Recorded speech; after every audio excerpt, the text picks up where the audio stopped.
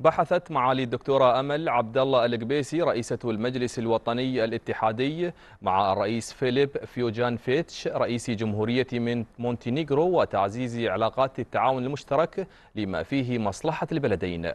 وأعربت معاليها خلال استقبالها ضيف البلاد والوفد المرافق في مقر المجلس بأبو ظبي اليوم عن تطلعها إلى تعزيز العلاقات بين برلماني البلدين عن طريق تشكيل جمعية صداقة بين المجلس الوطني الاتحادي والبرلمان في جمهورية الجبل الأسود.